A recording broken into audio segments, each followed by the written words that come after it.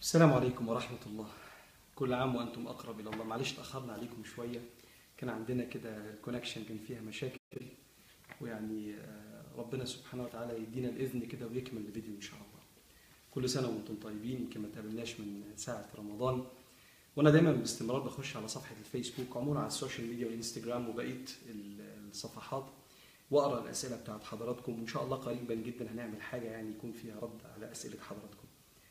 ويمكن في خمس أسئلة مشهورين جدا بيجوا في الأيام الفاضلة اللي إحنا فيها دي. إحنا خلاص بدأنا العشر الأوائل من ذي الحجة بدأوا من مغرب النهارده وأنا بيجي لي باستمرار خمس أسئلة. حابب إن أنا النهارده في ال live stream ده أجاوب على الخمس أسئلة دول. السؤال الأولاني إيه حكاية ذي الحجة؟ إيه حكاية العشر أيام دول؟ وخليني أجاوب كده إيه سؤال سؤال.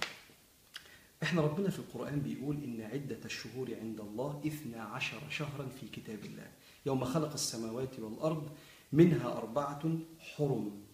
ذلك الدين القيم فلا تظلموا فيهن أنفسكم. فربنا عنده سبحانه وتعالى الأشهر في السنة 12 شهر منها أربعة حرم. يعني إيه حرم؟ يعني محرم فيها القتال. وحرم كمان يعني ليها حرمة عند ربنا. حرمة يعني كرامة.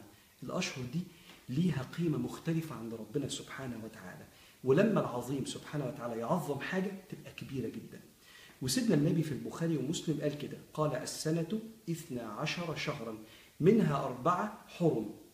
رجب وبعدين رجب ده لوحده وبعدين ثلاث شهور ورا بعض. احفظوهم يا جماعة. رجب ثم ذو القعدة ثم ذو الحجة أو ذو الحجة اللي هو الشهر اللي بيبدأ خلاص ثم شهر محرم. الأشهر دي ربنا فضلها. زي ما ربنا فضل رمضان. هم خمس شهور في السنة من ضمن ال 12 ليهم قدسية كبيرة جدا عند ربنا. رمضان وده بره الأشهر الحرم ثم رجب ذو القعدة ذو الحجة ومحرم. زي ما ربنا فضل تلك الرسل وفضلنا بعضهم على بعض. هو ربنا بيصطفي ويختار ما يقرب وما يرفع مقامه. فده فكرة إن دي الحجة من الأشهر المقدسة عند ربنا سبحانه وتعالى. السؤال الثاني اللي بيجي لي على طول باستمرار إيه فضل الأيام دي؟ خليني أقول لك الأول لازم تبقى فاهم كويس إن ربنا سبحانه وتعالى بيتجلى يعني بيظهر بيظهر بصفاته الجليلة على الأشخاص وعلى الأماكن وعلى الأوقات. لما ربنا يتجلى يعني يظهر على الأشخاص يصطفيهم صالحين. لما يظهر على الأماكن تنزل فيها البركات ويستجاب فيها الدعوات. لما يتجلى وربنا يظهر على الأوقات تبقى دي الأوقات اللي فيها الرحمة قريبة جدا واللي فيها الدعوات مستجابة واللي فيها الناس اللي عايزة تنال درجات مش بيبلغها طبيعي بعمله إن عمله قليل يبحث عن الأوقات المباركة. منها على الإطلاق أكرم وأعظم وأجمل وأشرف وأقدس وأجمل الأيام عند رب العالمين هي الأيام دي. وسيدنا النبي قال كده قال صلى الله عليه وسلم أفضل أيام الدنيا العشر وفي رواية أخرى عشر الأضحى اللي هم العشر أيام الأولى من ذي الحجة. وسيدنا النبي عليه الصلاة والسلام لما, لما قال أفضل أيام الدنيا العلماء قالوا هو في أيام حتى في الآخرة ممكن تبقى أفضل من الأيام دي؟ فقالوا آه. دول أفضل أيام الدنيا حتى أفضل من رمضان وأفضل من العشر الأواخر بتوع رمضان كمان. لكن في يوم واحد في الآخرة أفضل من الأيام دي. وهو يوم المزيد اليوم يوم المزيد. يوم ما يشوف المؤمنين وجه ربنا الكريم. ده اليوم الوحيد اللي في الآخرة اللي أفضل من العشر أيام دول. وربنا سبحانه وتعالى لما قال والسماء ذات البروج واليوم الموعود كان بيحلف بيقسم بالسماء العظيمة واليوم الموعود يوم القيامة قال وشاهد ومشهود. أقسم ربنا سبحانه وتعالى بالشاهد وهو يوم عرفة. اللي بيشهد للحجاج إن ربنا رجعهم كيوم ولدتهم امهاتهم صفحة بيضاء مع ربنا وبيشهد للعباد والصائمين إن هم صادقين في طلب رضا رب العباد في أشرف أيام الدنيا على الإطلاق وهو يوم عرفة. والمشهود هو يوم العيد. وشاهد ومشهود. هو مشهود لأنه بيحصل فيه حاجة في الحج اسمها يوم الحج الأكبر. ربنا سبحانه وتعالى خلى أكبر أعمال في الحج أربع أعمال يوم عشرة. طب الناس اللي هناك اللي بيحجوا بيعملوا أربع أعمال ويشهد لهم هذا اليوم إن هم أتموا حجهم. طب والناس اللي في بلادها بيشهد ربنا سبحانه وتعالى واليوم ده بيبقى مشهود على ناس رايحة تعيد وهي امبارح ربنا سبحانه وتعالى تقبل منهم صيام اليوم اللي قبله اللي بيكفر السنة اللي فاتت والسنة اللي جاية كمان.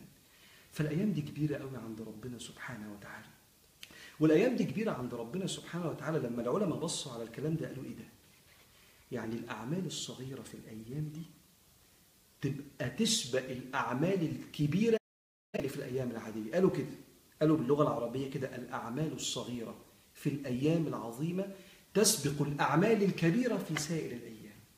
فاللي هيعمل أعمال بسيطة على قده في واحد بيعرف يتصدق وواحد بيعرف يذكر ربنا 100 مرة واحد هيعرف يصوم كلهم أو هيصوم يوم منهم واحد.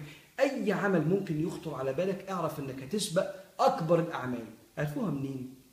عرفوها من سيكولوجيه السؤال اللي الصحابة سألوه. وأنا عايزك تتأمل معايا كده في سؤال الصحابة. يوم ما سيدنا النبي وأنا عايز أقول لك نص غير النص المشهور. قال صلى الله عليه وسلم ما من يوم أفضل عند الله من عشر الاضحى من خير يعمله العباد فيه. مفيش يوم أعلى عند ربنا من العشرة بتوع الأضحى. من خير يعمله العباد فيه. والعلماء قالوا كلمة من خير معناها تفيد التصغير والعموم. يعني أي خير حتى ولو بسيط وأي حاجة ربنا يفتح عليك بيها يبقى أكبر من أي يوم. فالصحابة على طول جم في بالهم أكبر عمل سيدنا النبي كان دايما يكلمهم عنه وهو الجهاد.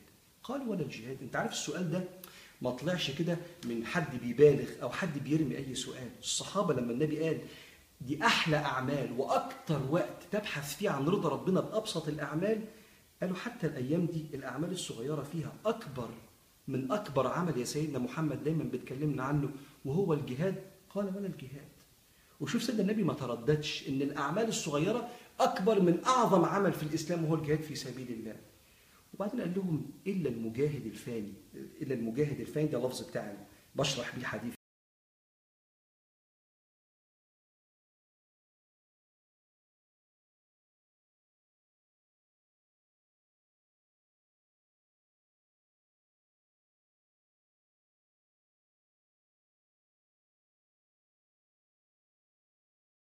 ده الوحيد اللي ممكن يسبق أي واحد تصدق بخمسة جنيه من فلوسه. ده الوحيد اللي ممكن يسبق واحد بس إيد أمه في الأيام دي. الأعمال الصغيرة في الأيام الفاضلة تسبق الأعمال الكبيرة في سائر الأيام. يبقى أدي تاريخ ذي الحجة أشهر حرم ربنا فضل فيها العشر أيام دول ودي فضلها. اشمعنى ربنا فضل الأيام دي؟ جماعة من أسماء ربنا سبحانه وتعالى اسمه الجبار. الجبار يعني باللي بيكمل النقص. ده المعنى الجمالي في معنى الجبار في معنى جلالي تاني فيه جبار على الظالمين. بس في من الجبر يعني بيجبر النقص بيكمل النقص. الأيام اللي إحنا فيها دي أيام الحج. والحج لو المسلمين مليار ونص بيحج منهم 4 مليار 4 مليون أنا آسف. طب وبقية الناس اللي بتشوف مسجد النبي عليه الصلاة والسلام في التلفزيون وتعيط شوقا لسيدنا النبي؟ وبقيه الناس اللي بتشوف الكعبة وهي عارفة إنه ما عندوش فلوس يطلع أو ما عندوش قدرة أو ما عندهاش محرم أو ما عندوش صحة وبيبص على الكعبة ويقول شوقا للبيت الحرام. الناس دي ربنا بيكبر بخاطرها. فاداهم أوقات مقدسة وهم في بلادهم بره الحرمين الشريفين اداهم أوقات مقدسة عشان أي عمل صالح يعملوه. ربنا سبحانه وتعالى يخليهم ياخدوا ثواب الحجاج وكمان وكل واحد وإخلاصه ونيته يمكن يسبقه كمان. عشان كده ما تستغربش إن سيدنا النبي عليه الصلاة والسلام لما يجي يكلمنا عن رمضان ورمضان شهر مقدس المسلمين كلهم عارفينه. لكن يجي سيدنا النبي عليه الصلاة والسلام يقول إن في رمضان في ليلة القدر التمسوها في العشر الأواخر. فنقعد إحنا ندور هي ليلة 25 ولا ليلة 23 ومشايخنا يقعدوا يجتهدوا في حاجة زي كده ويبقى في حالة من الغموض والبحث وتلمس فضل ربنا. ويجي ربنا سبحانه وتعالى ويقول إن ليل إن يوم عرفة يوم تسعة للحجة. يعني ليلة القدر مش معينة ويوم عرفة معين. ليلة القدر بل رمضان الدعاء فيه مستجاب ويجي ربنا في يوم عرفة يخلي سيدنا النبي يقول خير الدعاء دعاء عرفة. إحنا بندور على العتق من النيران في رمضان وفي ليلة القدر ودي دعوة المشايخ في كل المساجد ودعوة الصالحين في بيوتهم. ويجي سيدنا النبي في صحيح مسلم يقول ما من يوم أكثر من أن يعتق الله رقاب عباده من يوم عرفة. كأن سيدنا النبي عليه الصلاة والسلام بيقول أيوه في أيام فاضلة كتير. لكن الأيام دي بيدور على ربنا. هيلاقي ربنا قريب منه في الأيام دي. في أيام فاضلة في السنة كتير. بس الحجاج اللي أنتم شايفينهم في البلاد المقدسة يا بقية المليار ونص محدش يحزن. محدش يحزن لأن فضل ربنا عز وجل يشمل الجميع ورحمتي وسعت كل شيء. فلأن ربنا جبار للخواطر إدى المسلمين هذه الأيام. وبالمناسبة اللي هيجتهد في العبادة وهو هناك في الحرم برضه هياخد نفس الثواب وإن شاء الله كمان يزيد بالحج وذلك فضل الله يؤتيه من يشاء. لكن اللي هنا مش محرومين. إذا انقطعت أجسادنا عن الحرم وصلنا أرواحنا بالله رب الكرم سبحانه وتعالى. طيب يبقى آدي العشر الأوائل وآدي فضلهم وآدي ليه ربنا فضلهم عشان يجبر بخاطر الناس اللي بتدور على ربنا ومش قادرة تحج. يبقى آخر سؤالين السؤال الأولاني إيه أحب الأعمال لربنا سبحانه وتعالى في الأيام دي؟ بص هم ثلاث أعمال والثلاث أعمال دول يشبهوا الحج. عمل جسدي وعمل سلوكي أخلاقي وعمل روحاني. العمل الجسدي هو الصيام. والسيدة حفصة كانت بتقول إن النبي كان ليه ورد يعني متعود عليه ليه ورد صيام طول السنة. كان النبي صلى الله عليه وسلم لا يدع صيام عاشوراء ولا العشر من ذي الحجة ولا ثلاثة أيام من كل شهر. ده كان ورد النبي في الصيام صلى الله عليه وآله وسلم. على فكرة الصيام يشبه إحرام الحاج. الحاج وهو محرم يعني محرم على نفسه أي حاجة سوى الله. أنا يا رب بعيد عن أي حاجة إلا أنت. أنا معاك. أنا في كامل الحضور معاك. والصائم كده. بيسكت نفسه وشهواته عشان تبقى روحه مع الله. هي عبادة بدنية بتسكت متطلبات النفس حتى تسبح الروح وتقرب من ربنا سبحانه وتعالى. فالصيام. بعض الصحابة كانوا بيقدروا يصوموا التسعة أيام وبعض الصحابة الآخرين ما كانوش بيصوموا. على رأس من كان يصوم التسعة أيام سيدنا عبد الله ابن عمر كان يقلد النبي عليه الصلاة والسلام.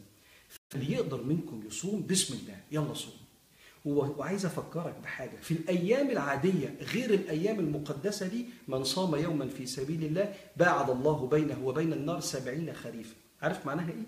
يعني ربنا يبعدك عن النار مسيرة سبعين سنة. ده معنى لواحد أكن اللي عاش عمره بعيد عن ربنا بصيام اليوم ده.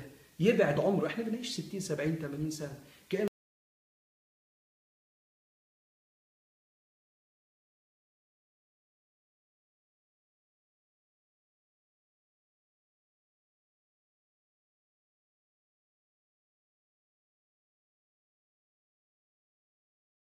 يتقبل واللي مش مفتوح عليه في الصيام وبيتعب أو أو شغله ما بيسمحلوش بالصيام بسبب المشقة اوعى تفوت يوم عرفة. هو أصلا أجازة في أغلب بلادنا. اوعى تفوت يوم عرفة. اللي سيدنا النبي قال كلمة في منتهى الجمال قال احتسب عند ربي يعني على يقين أنه يكفر سنة ماضية سنه باقية. مهما شرح العلماء في فضل الله إنه يغفر لك السنة الجاية عشان صمت النهارده 8 9 10 ساعات مش هيقدروا يشرحوا لنا فضل ربنا اللي أكبر من قدرتنا على التعبير. إن ربنا لو شرح صدرك وسمح ليك تصوم يوم عرفة يبقى ألف مبروك. أنت ربنا اراد ان السنة الجاية تبقى أنت غرقان في رحمته. فالصيام هو عمل جسدي يشبه الاحرام ربنا يتقبل منكم ده من أحب الأعمال. العمل السلوكي هو جبر الخواطر. أنت عارف إن الحجاج بعد ما يخلصوا بيذبحوا هدي والهدي ده بيبقى الحجاج بيوزعوه على البسطاء والناس بتاكل. كنوع من جبر خواطر الناس. إحنا بنحتفل بكرم ربنا ربنا تم علينا النعمة فبنذبح ونوزع. ويشبه الهدي ده جبر خاطرك لأي حد. وأنا عايز أقول لك على سر. بتبقى نعمة كبيرة لو ربنا سبحانه وتعالى حط في طريقك إنسان محتاج لك. وتأكد إنه لو اداك حمل تقيل في الشخص اللي محتاج لك ده هيديك كتف يشيل. كان يقول له دايما الكلمة الجميله يقول لك لو أعطاك حملا لو اداك حمل تقيل باللغة العامية لو اداك حمل تقيل هيديك كتف يشيل. فلو خد حد احتاج لك ماليا اعرف إنك أنت بابسط المساعدات. لو ربنا رماه في طريقك حاول تساعده بالله على قدك وربنا هيبارك. لو حد احتاج لك معنويا يفضفض معاك وتقف جنبه في دقيقة اعرف إن ربنا اداك هدية كبيرة جدا. وما تنساش أنت بإمكانياتك في عون العبد إن الله في عون العبد. ما كان العبد في عون أخيه. وهفكرك بحديث سيدنا النبي إن في الأيام العادية قال صلى الله عليه وسلم لا يزال العبد في ظل صدقته يوم القيامة حتى يفصل الله بين العباد. ما بالك بقى اللي في ظل صدقة طلعت في العشر الأوائل من ذي الحجة؟ أحب وأقدس وأقرب وأجمل وأغلى الأيام عند ربك. سبحانه وتعالى. عشان كده اللي قادر يتصدق بجهده أو بماله أو بوقته أو بنصيحته أو يعلم حد حاجة هو بيعرف يعملها من مهارات الحياة تصدق. وسيدنا النبي كان يحلف والله ما نقصت صدقة من مال. فربنا يتقبل. يبقى عمل جسدي وهو الصيام عمل سلوكي وهو جبر الخواطر إنك أنت تكرم أي إنسان بأي حاجة تقدر عليها يبقى شيء أخير عمل روحاني. إذا كنت أنت بتسألني إيه أحب الأعمال إلى الله؟ عمل روحاني. ربنا في القرآن بيقول على الأشهر الحرم دي فاذكروا اسم الله في أيام معلومات سيدنا ابن عباس قال الأيام المعلومات يعني الأيام المعروفة بالبركة والخير وعظم ثوابها عند ربنا وهي العشر الأولى من ذي الحجة. واضح القرآن يذكر ربنا في الأيام دي وكأن ربنا بيقول لك إن الذكر ده اولا الذكر ده هو الدواء الأول والأكبر اللي ربنا قاله وسيدنا النبي قاله لأصحاب الهموم. والدواء الأول والأكبر للي عايز عيون قلبه اللي اسمها البصيرة تشوف حقائق الأمور وتحكم أحكام سليمة على مجريات الأحداث. الذكر الذكر هو اللي بيشفي العقل من الأوهام اللي فيه. فأنت الأيام دي هي أيام الذكر هي أيام استقبال القلب للذكر وإلا ما كانش ربنا خص الأيام دي بالذكر. ولو عايز تسألني أقول إيه اليومين دول هقول لك نص ساعة الصبح ونص ساعة بالليل. النص ساعة بتاعت الصبح دي وانت رايح أو شغلك مثلا أو دراستك أو ايا كان فيها ألف لا إله إلا الله. جددوا إيمانكم بلا إله إلا الله. جدد رؤية هذا القلب لربنا بكثرة لا إله إلا الله. ألف لا إله إلا الله الصبح وألف صلاة على النبي بالليل. سيدنا أبي بن كعب لما النبي قال له صلي علي كتير قال له هخلي كل ذكري صلاة عليك. قال له إذا تكفى همك ويغفر ذنبك. اللي عنده محن واقفة في طريق سعادته صدقني صلي على النبي كتير وشوف صدق وعد النبي إذا تكفى همك ويغفر ذنبك. ألف صلاة على النبي بالليل وألف لا إله إلا الله الصبح. صيام جبر خواطر ذكر السؤال الخامس والأخير إيه أبغض الأعمال إلى الله في اليومين دول؟ ربنا اللي قالها في القرآن. قال تعالى إن عدة الشهور عند الله اثنا عشر شهرا في كتاب الله يوم خلق السماوات والأرض منها أربعة حرم ذلك الدين القيم فلا تظلموا فيهن أنفسكم. أكثر عمل يغضب المولى إن إحنا نظلم بعض. لا تظلموا أنفسكم يعني ما تظلموش بعض. كسر خاطر الناس ظلم العباد في حقوقهم. القسوة والجفا ده أكتر عمل مبغض إلى الله. عموما أنت عارف اللي سائر إلى الله عارف كويس قوي اللي اتعلم على إيد العلماء يعرف إن أسوأ الأعمال تزعل بني آدم. بعد الكفر بالله سبحانه وتعالى أسوأ الأعمال إنك تاخد حق حد. وأحب الأعمال إلى الله بعد التوحيد إدخال السرور على الخلق. بص بقى أمك جوزك ولا مراتك ابنك ولا بنتك صاحبك المقرب حسس قوي على مشاعره في اليومين دول. وشوف ربنا إزاي هيوقف لك ولاد الحلال زي ما أنت بتتمرن في اليومين دول. الا تظلم انسان مصداقا لوصية ربنا ورسالته في القرآن فلا تظلموا فيهن أنفسكم. يبقى دول كانوا خمس أسئلة أنا رديت عليهم. إيه تاريخ العشر الاوائل من ذي الحجة؟ وإيه ذي الحجة ده؟ رقم اثنين إيه فضلهم؟